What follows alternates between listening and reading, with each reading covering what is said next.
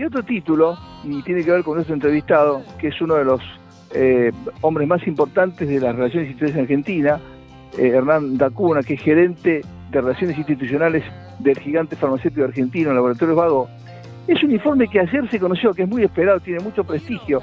Es el informe eh, con perspectiva trimestral de nuestro Servicio Meteorológico Nacional, estableciendo que vamos a vivir seguramente, no está confirmado, es todo el campo de la probabilidad, un verano atípico con mucho calor. Y una frase de uno de los expertos, bueno, cada verano va a ser más caluroso que el anterior porque efecto de la del antropogénesis y de la actividad del hombre y fundamentalmente de uno de los gases de efecto invernadero, el dióxido de carbono, cada, cada vez se da mayor el cambio climático. Por eso los informes de sustentabilidad de las empresas y de un gigante como Vago, en este caso del ejercicio 2023, son tan importantes. Hernán, bienvenido, buenos días. Nacho Riverol saluda, ¿cómo estás? Buenos días, Nacho. Muchas gracias por el llamado. Muy bien. No, gracias por tu gentileza. Yo quise enganchar un informe formidable. Tuve la suerte ya de ser el segundo que escucho de, de, Vago, pero yo lo uní, yo siempre he sido este servicio, ayer lo publicó el Servicio Meteorológico, y la verdad que ya todos los expertos del mundo, eh, científicos, físicos, eh, eh, paleontofísicos, están justamente coincidiendo en eso. Entonces, cada informe de ustedes, que dividieron en tres áreas muy, muy determinadas, pero en el tema ambiental, en el tema de recursos, inclusive en lo social, bueno, tienen que ver con eso. ¿Qué podemos hacer todos los días para que nuestra contribución al calentamiento sea un poco menor, baje? Sí, exacto.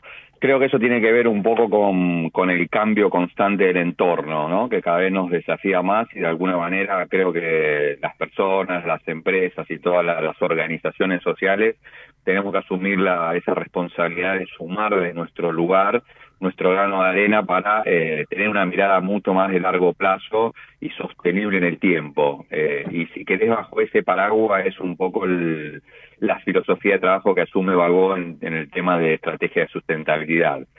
Eh, nosotros tratamos de fortalecer lo que es el corazón de la actividad industrial de Vago, que tiene que ver con abastecer de productos de calidad innovador eh, generando desarrollo económico en las sociedades en las que estamos, eh, con, mejorando la calidad de vida y la salud de la comunidad, que ese creemos que es nuestro aporte y que de alguna manera alinea eh, nuestro objetivo industrial con nuestro aporte al desarrollo económico de la sociedad, que es un desafío que aporta, digamos, salud a la comunidad, pero también empleo, eh, actividad económica en el ecosistema. Creo que es un desafío de las compañías de eh, generar ese efecto multiplicador y articular con todas las comunidades.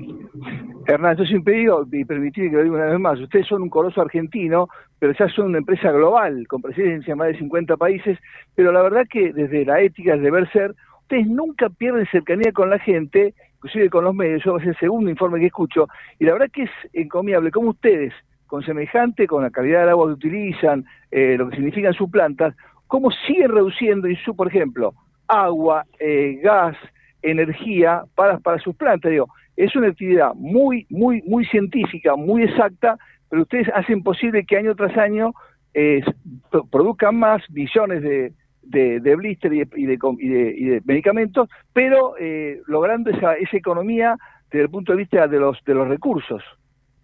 Sí, así es. Si querés, como bien decís vos, Argenti eh, es una compañía argentina que este año cumple 90 años y hoy exporta sus productos a 50 países. Eh, esa participación en distintos mercados de alguna manera nos plantea una vara de competitividad que nos desafiamos año a año y con esta estrategia de triple impacto en lo económico, en lo ambiental y en lo social, tratamos de superarnos e integrarnos a cada comunidad en la que participa Vago para mejorarnos.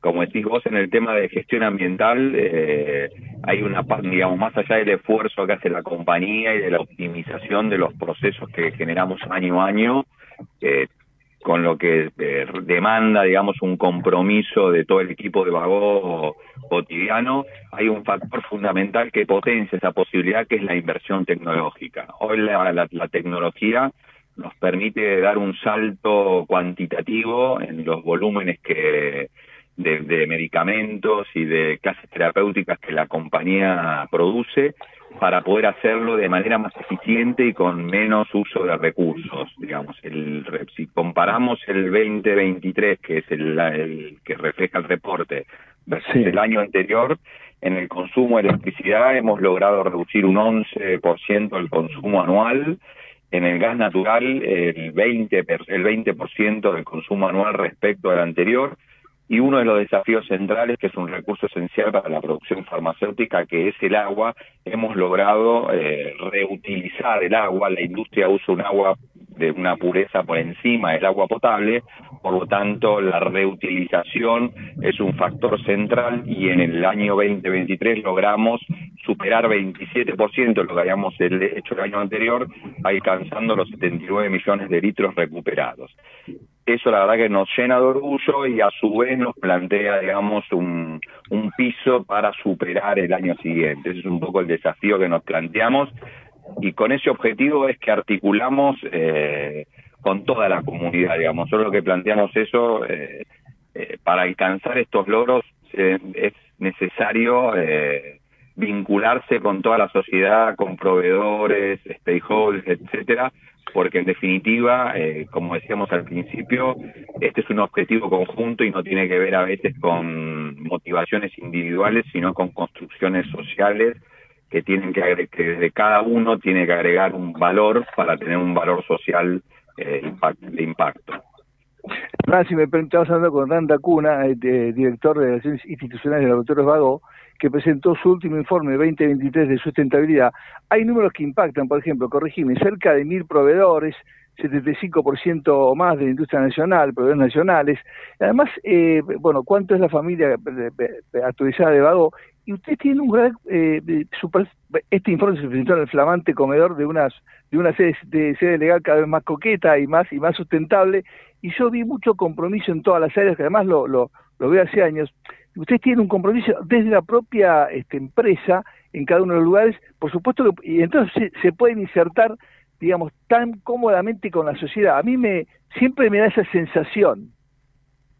Sí, esa es, esa es un poco la filosofía de trabajo de Vago eh, en todos los países en, la que la, en lo que la compañía está y que de alguna manera reproduce la experiencia que Argentina tuvo, crece a partir de todo lo que es el management y la gestión de eh, de ese propio país.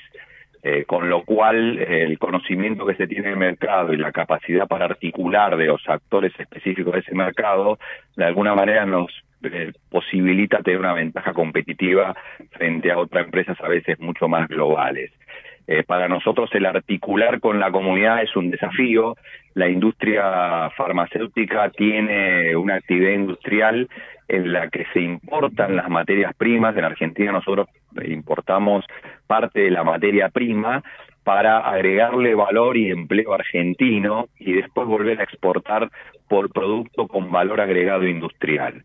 Creo que ese es un factor diferencial que permite potenciar eh, no solamente la comunidad desde la calidad y la variedad de tratamientos que se le ofrece desde el área de salud, sino sobre todo en eh, demandar eh, trabajo especializado, altamente especializado en carreras como química, ciencia, farmacia, etcétera, etcétera, que posibilitan el desarrollo de todo el ecosistema social. Creo que ese es un, gran desafío y uno de los objetivos que nos planteamos en esto, es un dato ahí que vos resaltaste, es que eh, nosotros eh, nos ponemos como objetivo que más del 70% de la, de la demanda de proveedores sea locales. O sea, por un lado nos da la autonomía y una agilidad de velocidad en la respuesta que tenemos para abastecer el mercado, pero por otro lado nos permite generar esa red eh, de desarrollo económico que crece alrededor de la compañía. Y ese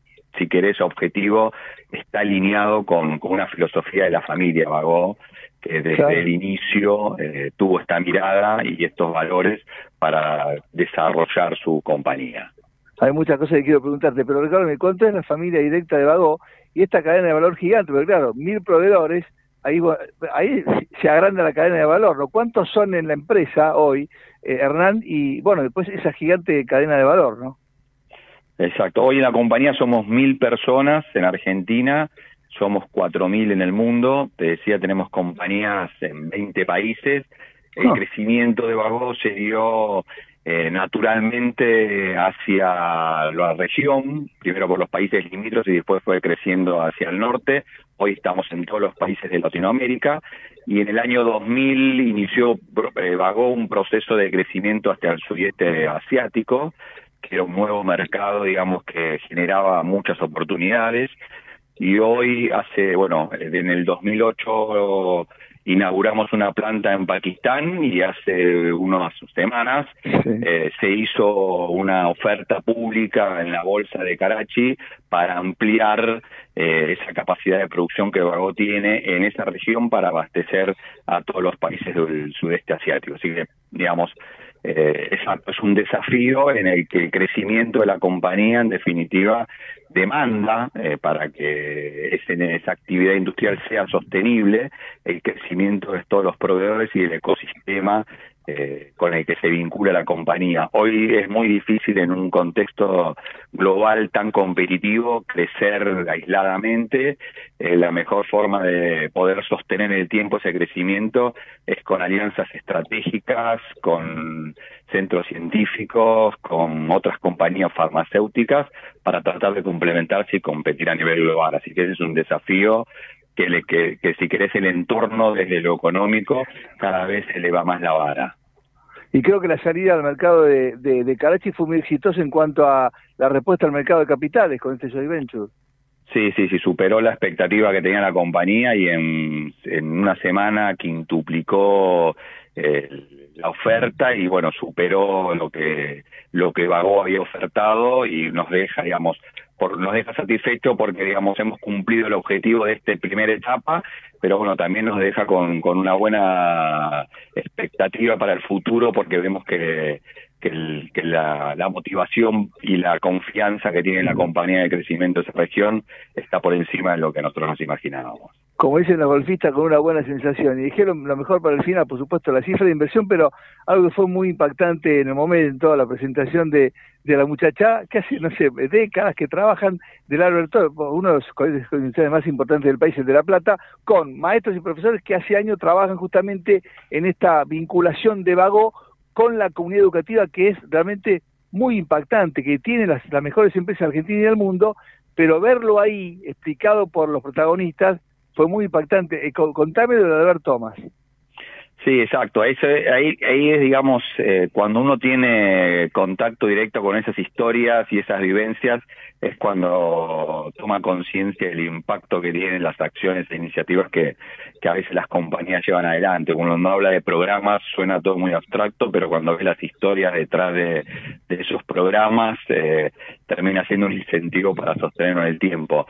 Eh, la actividad con el Albert Thomas tiene prácticamente 30 años que iniciamos también por inquietud de la escuela, que es una escuela técnica eh, de mucho prestigio en La Plata, es la segunda eh, después antigua de la Argentina, después del Otto Krause, exacto, y ellos tienen como un foco eh, en temas, digamos, de, de, desarrollo de ciencia y en particular de la química y la farmacia. Así que eh, con la conjunción de esos intereses de la escuela y del propio de la compañía, fuimos generando actividades para que para estimular la vocación y el entusiasmo de los chicos en estas materias.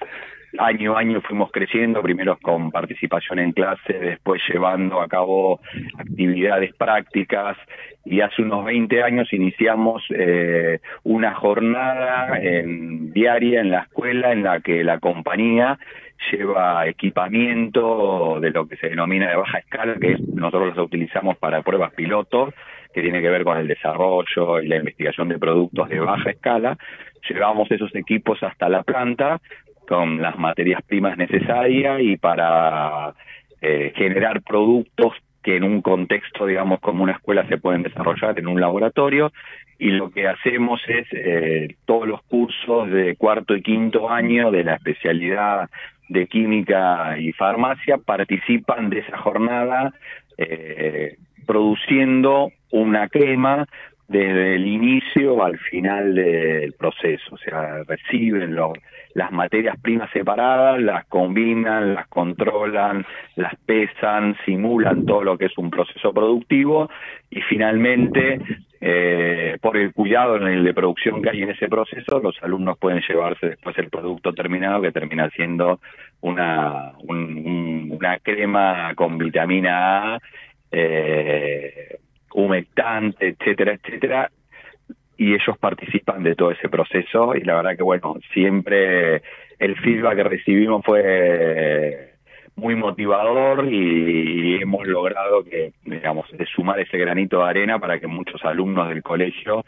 después sigan actividades, digamos, vinculadas con, con la ciencia y la, y la industria.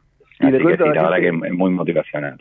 Muy motivacional. Fue impactante porque, por ejemplo, nosotros no conocíamos bien eso, ustedes nos mostraron los videos, hacía 30 años que estaban trabajando. ¿verdad? Los chicos eran, estaban en la planta industrial de Bagó, impresionante, con sus atuendos, con la seriedad, eh, con la metodología. Son tres años que van trabajando hasta el, hasta el último, y creo que uno de los directores de ustedes es un egresado de allí, estaba el director con una profesora que también fue alumna del mismo plan. O sea, es, digo, el trabajo silencioso pero consistente genera esos videos que nosotros vimos, Hernán. La gente no sé si sabía mucho, pero bueno, ustedes lo estaban haciendo hacía mucho tiempo y ahí lo vimos, ¿no?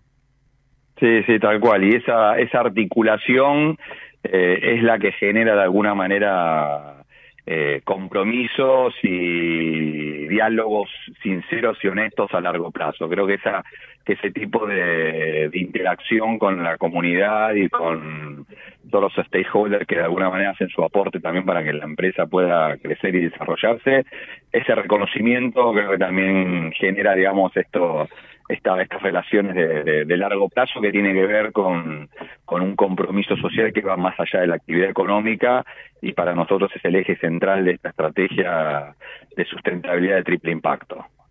Hernán, muchas gracias. Eh, bueno, estarán, estarán pensando ya el próximo informe. Ojalá que estemos ahí para, para presenciarlo y después comunicarlo. Eh, como siempre digo, me compré desde ahí porque quiero mucho la empresa. Y en todos los, eh, en los, los hogares argentinos hay algún producto con los colores y con los nombres reconocidos de los, de los 90 años de Vagón Argentina. Así que gracias, felicitaciones y por supuesto siempre a disposición para poder contarle a través de nuestra pequeña contribución a la gente lo que ustedes hacen, que la gente sabe y vive todos los días, cuando está en salud o cuando no está en salud, por supuesto el compromiso que, tienen ustedes con la comunidad argentina y mundial. Muchas gracias Nacho y permitime invitar a tu audiencia que si quiere conocer más sobre la estrategia de sustentabilidad de Vago, visite el reporte en nuestro sitio oficial que es www.vago.com.ar, así que los invitamos. Además está presentado... también sugerencias, esa es la idea está presentado muy, muy, digamos, con mucho colorido, muy simplemente, este, está realmente muy, muy, es muy lindo el informe que ustedes han subido y recomiendo que la gente se sume porque es de todos los días lo que estamos haciendo, ¿eh? todos los días está el tema ambiental en nuestras vidas. Hernán, gracias por este tiempo de sábado y de la familia, para nosotros un fuerte abrazo y siempre a disposición de, la, de Vago. Muchas gracias Nacho, un abrazo grande. Gracias Hernán, muchas gracias. ¿eh? El licenciado Hernán Dacuna director de Relaciones Institucionales del gigante argentino farmacéutico Laboratorio Vago, que presentó su informe de sustentabilidad 2023 con una presentación realmente eh, formidable.